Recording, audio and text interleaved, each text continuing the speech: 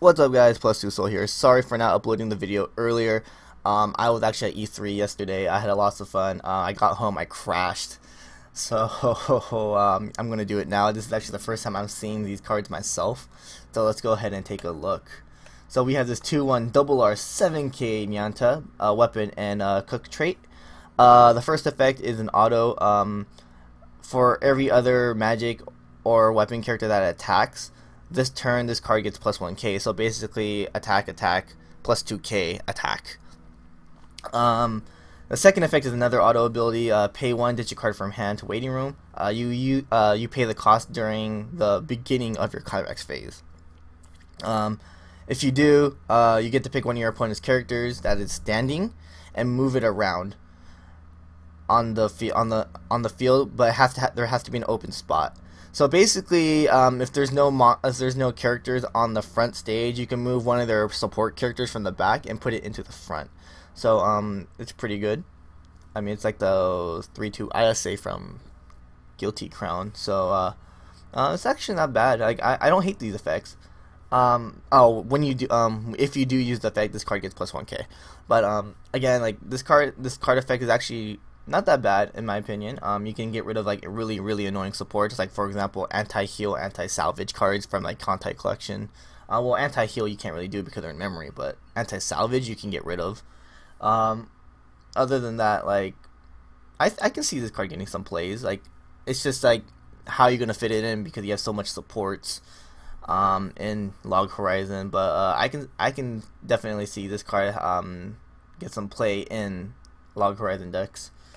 Um, next, we have Love Live. Uh, this when this card is played from hand to stage, uh, you get to take the top card of your opponent's stock and put it into waiting room. And if you do, you get to take uh, one of your opponent's uh, cards from waiting room and put it into stock.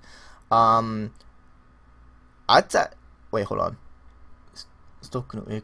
Oh, okay. Alright, I, I was thinking something different. I was thinking that you take the top stock, meaning the first card in stock. Basically, the top, um, all the um the the card all the way, the last card you pay out in your stock, and you replace that with a card from waiting room. So basically, you're from the waiting room. You're you're gonna bring out a climax and put it in that in the stock. Okay.